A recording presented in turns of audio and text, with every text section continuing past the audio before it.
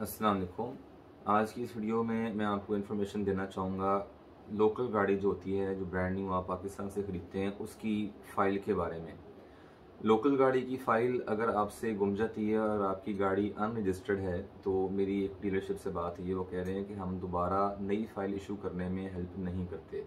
हालाँकि उनके लिए लीगली बाइंडिंग अगर आप ज़ोर लगाएँगे, उनसे बात करेंगे तो वो बना भी देंगे, लेकिन आपने अगर गाड़ी वो रखनी है तो उसको फ़ौर रजिस्टर करवाएँ।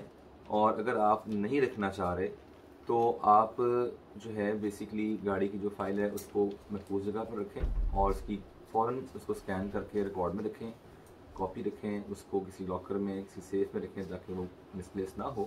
क्योंकि अगर गाड़ी को नंबर लगने से पहले फ़ाइल मिसप्लेस हो जाती है, गुम जाती है तो बड़ा मसला बनेगा।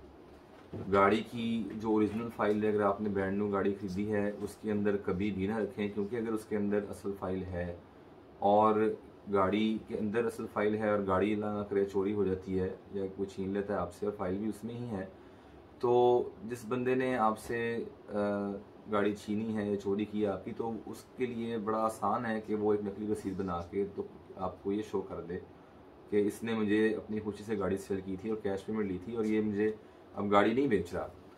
तो इसलिए ये कुछ एक दो बातें हैं जो गाड़ी की लोकल फ़ाइल के बारे में लोकल गाड़ी की फ़ाइल के बारे में आपको पता होना चाहिए। तो ये ख़ास ख्याल रखें, कभी भी गाड़ी के अंदर जो है, चाहे इम्पोर्टेड भी हो अनरजिस्टर्ड गाड़ी में उसकी फ़ाइल ना रखें। इवन कि रजिस्टर्ड भी हो फ़ाइल की कोई वैल्यू नहीं है गाड़ी के अंदर, क्योंकि वो गाड़ी अनरजिस्टर्ड है। वैल्यू पुलिस के नज़दीक या किसी जो सिक्योरिटी के इदारे हैं, उनके नज़दीक गाड़ी की रजिस्ट्रेशन की कॉपी जो होती है, बुकलेट होती है, कार्ड होता है, उसकी होती है। या अगर आपका टेम्प्रेरी नंबर है तो उसकी स्लिप हो। और अगर गाड़ी अनरजिस्टर्ड है ही तो उसमें आप कलर कॉपी रख लें, वो इनफ है। अगर इम्पोर्टेड गाड़ी है जीडी की कॉपी और ये बिलेवेंट्री जिसे कहते हैं, और अगर इम्पोर्टेड गाड़ी नहीं है लोकल है तो उसकी एक सिंपल जो है फ़ोटो कॉपी रखें। क्योंकि ये पहले हमने देखा है कि गाड़ियाँ चोरी हुई हैं फ़ाइल अंदर थी बुक अंदर थी तो बेसिकली आप उससे कोई क्लियर नहीं कर सकते, वो लीगल बैटल बन जाएगा।